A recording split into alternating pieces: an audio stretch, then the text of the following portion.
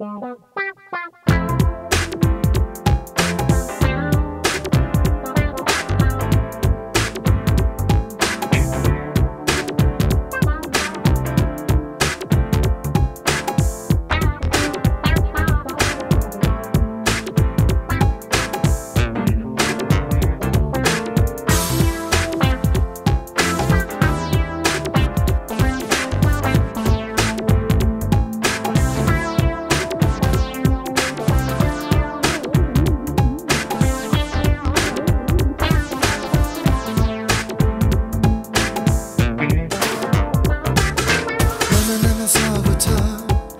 나는